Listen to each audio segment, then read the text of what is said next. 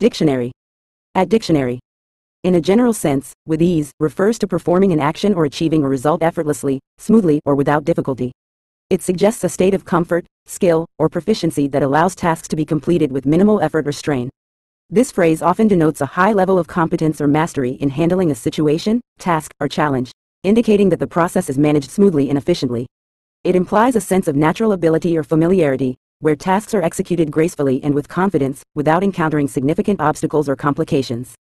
With ease conveys a sense of accomplishment or capability, reflecting the ease with which one can navigate and succeed in various endeavors, whether physical, mental, or practical.